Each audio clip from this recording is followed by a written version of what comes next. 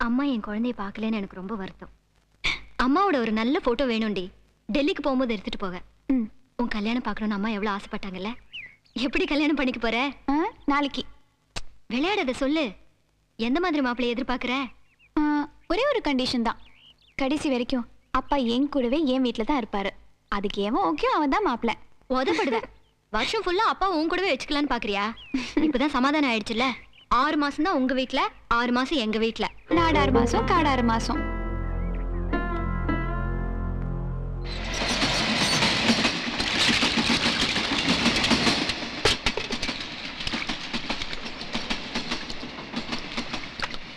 ஐயோ என்னப்பா இது? அக்கா தண்ணி எல்லாம் தூக்க விட்டுட்டு அவளுக்கு நெஞ்சு வலி இருக்குன்னு தெரியும்ல.